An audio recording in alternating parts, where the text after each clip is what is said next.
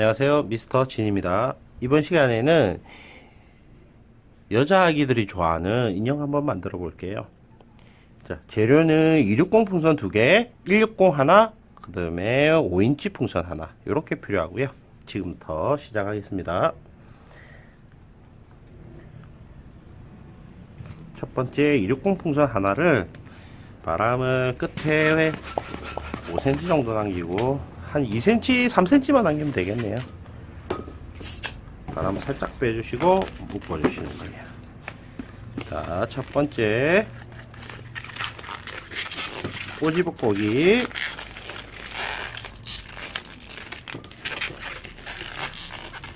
하나 그 다음에 저복고기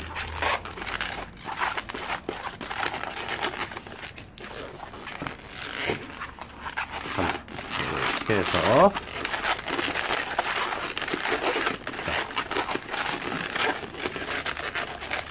요런 모양이 되죠. 손가락 3마디 정도 되겠네요. 접은 부위 반 정도가. 자, 이 상태에서 이렇게 접어 주시고요. 자 끝에 보시면 조금 더 한쪽이 길, 길게 돼 있죠?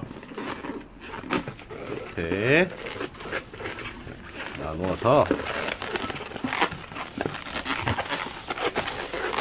꽈배기 고기로 꽈주시고요. 이렇게 방울 하나 만들어서 틀어주시는 거예요. 그 다음 정리하면은 요런 모양이죠 인형의 몸이 될 거고요. 그 다음 머리 만들어 볼게요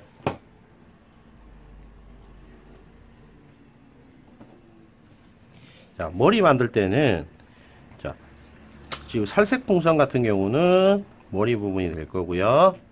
그리고 아이보리 같은 경우는 팔이 될 거예요.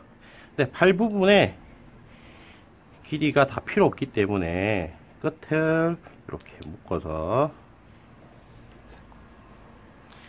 하나 잘라 주시고요. 요걸 5인치 풍선에다가 이렇게 넣어 주시는 거예요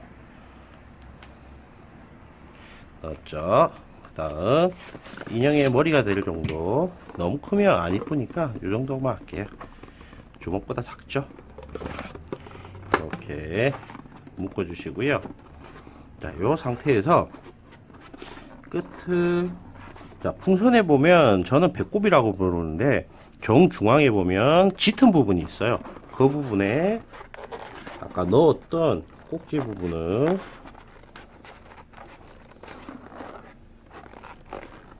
이렇게 잡아서 이렇게 틀어주는 거예요. 그 다음에 260을 이용해서 한번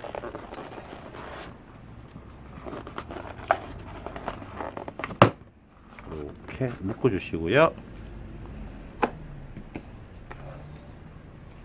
그 다음 160 풍선을 이용해서 머리를 만들 건데요. 머리카락을 만들 거예요. 검정색을 사용하셔도 되고요. 저는 흰색을 할게요. 끝에 10cm 정도 남기고 그래서 묶어 주시고요.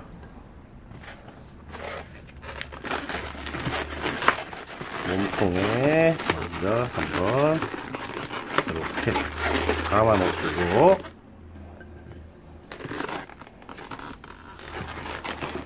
묶고 있는 그 부분에다가 이렇게 묶어 주시는 거예요. 160.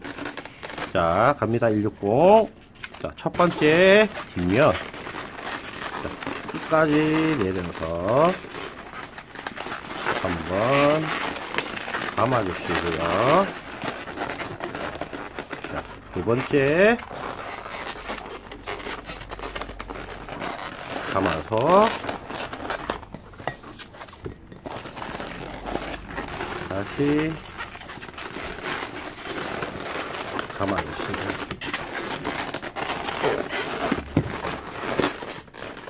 다음 세 번째 세 개가 됐죠? 살짝 눌러주시고요. 네 번째 부분 할 때 여기서 첫 번째 부분 할 때 꼬집고기를 하나 했어야 되는데 제가 빠뜨렸네요. 자, 요럴 때는 다시 네 번째 방울로 꼬집고기를 하나 해주고 시작할게요. 이렇게 만들어 주시고요. 다시 길이만큼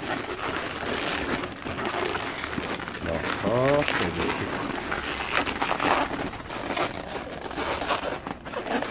다시 한 번더 만드시고요. 나머지 부분은 자, 잘 보세요. 160을 이렇게 안으로 밀어 넣고요.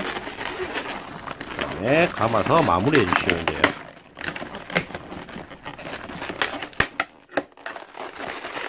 이렇게 보면 인형의 뒷, 뒷모습입니다. 이렇게 되고요. 앞에 인형의 애교머리가 되겠죠? 이 부분이. 그 다음에 우리 아까 잘라 쓰고 남아있는 풍선을 바람을 끝까지 밀어 넣어서 바람을 조금 빼주 자, 어느 정도 뺐으면 잠깐 묶어 놓고요. 자, 인형의 팔 부분이 될 건데 너무 두꺼우면 안 이쁘니까 이렇게 훑어서 조금 얇게 만들어 주시고요 한- 한쪽의 길이는 이 정도면 되겠네요. 됐으면 목 뒤쪽으로 가서 이렇게 자리 바꾸기 한 번만 해주시고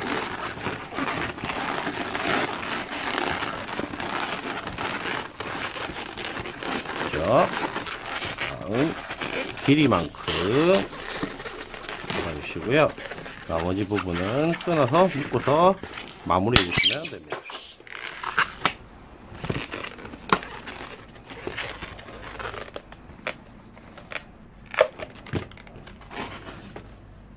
이렇게 팔은 이렇게 살짝살짝 만져서 올려주시면 되고요.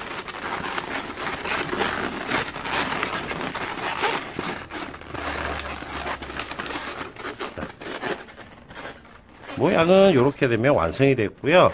여기에 눈을 그려서 인형의 생명을 불어 넣어 주시면 더 이뻐집니다. 이상으로 마치겠습니다.